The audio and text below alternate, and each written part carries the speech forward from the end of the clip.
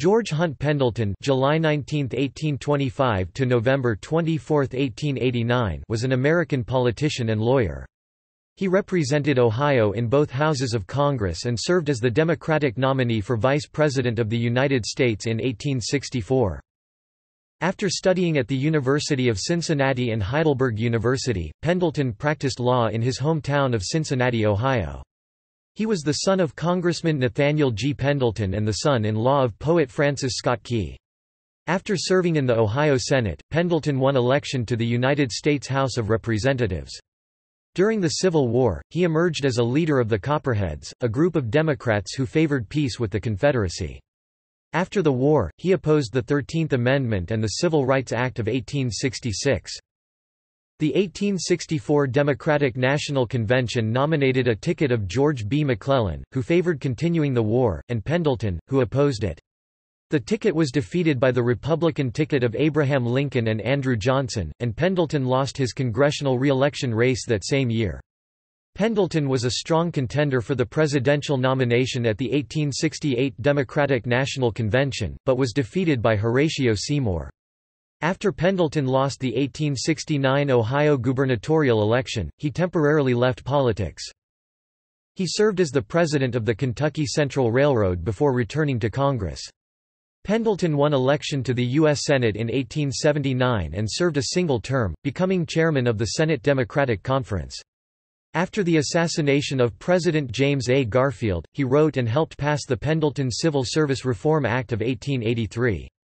The act required many civil service hires to be based on merit rather than political connections. Passage of the act lost him support in Ohio and he was not nominated for a second term in the Senate. President Grover Cleveland appointed him as the ambassador to the German Empire. He served in that position until 1889, dying later that same year.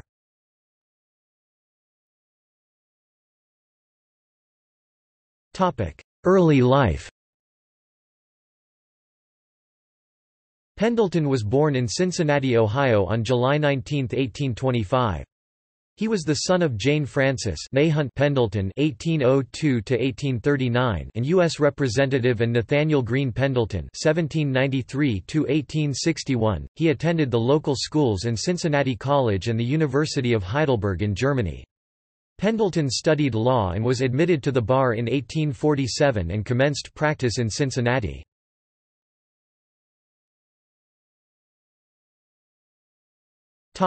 Career Pendleton was elected as a member of the Ohio Senate, serving from 1854 to 1856. His father had been a member of the Ohio Senate from 1825 until 1827. In 1854, he ran unsuccessfully for the 34th United States Congress. Three years later, he was elected as a Democrat to the 35th Congress and would be re-elected to the three following Congresses March 4, 1857 to March 3, 1865. During his time in the House of Representatives, he was one of the managers appointed by the House of Representatives in 1862 to conduct the impeachment proceedings against West H. Humphreys, a U.S. judge for several districts of Tennessee. He was a leader of the peace faction of his party, with close ties to the Copperheads. He voted against the Thirteenth Amendment, which outlawed slavery and involuntary servitude.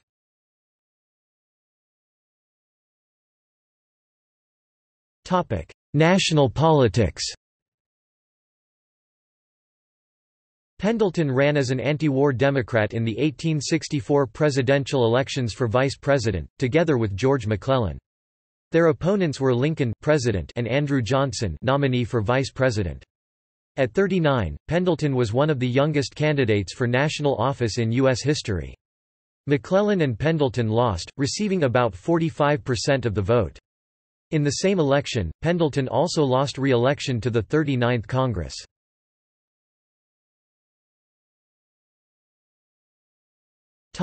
Out of office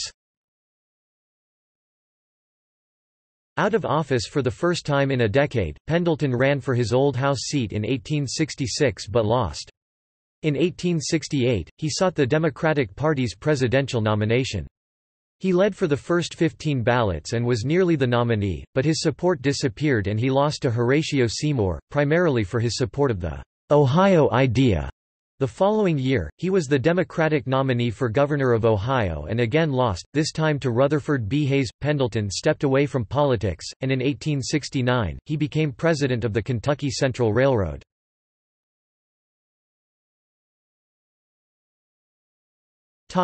Political comeback In 1879, he made his comeback when he was elected as a Democrat to the United States Senate. During his only term, from 1881 to 1885, he served concurrently as the chairman of the Democratic Conference. Following the 1881 assassination of James A. Garfield, he passed his most notable legislation, known as the Pendleton Act of 1883, requiring civil service exams for government positions. The act helped put an end to the system of patronage in widespread use at the time, but it cost Pendleton politically, as many members of his own party preferred the spoils system. He was thus not renominated to the Senate.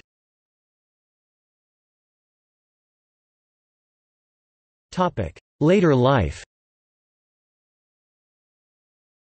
Instead, President Grover Cleveland appointed him envoy extraordinary and minister plenipotentiary to Germany the year that he left office, which he served until April 1889.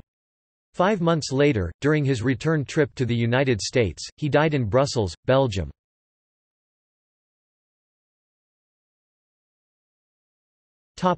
Beliefs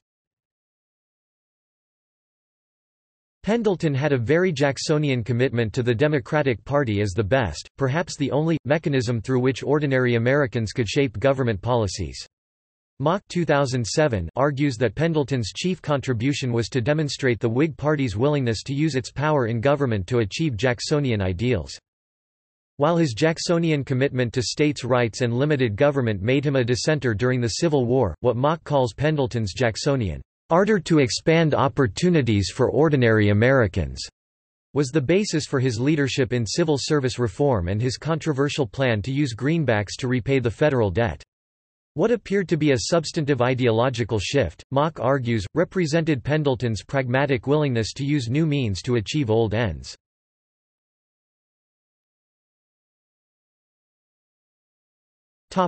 Personal life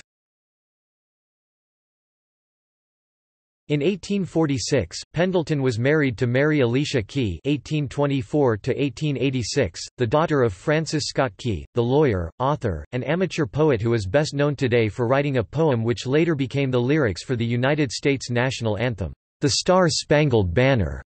Together, George and Alicia were the parents of Sarah Pendleton born in Ireland, about 1846, Francis Key Pendleton (1850–1930), who was born in Cincinnati and became prominent in New York society during the Gilded Age.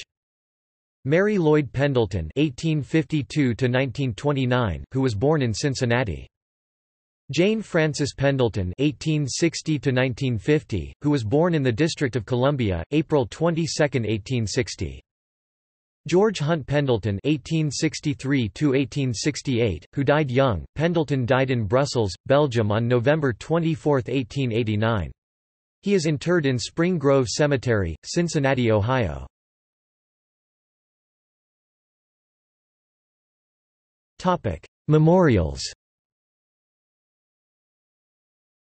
The city of Pendleton, Oregon, is named after him. The George H. Pendleton House in Cincinnati is a National Historical Landmark and was listed on the National Register of Historic Places in 1966.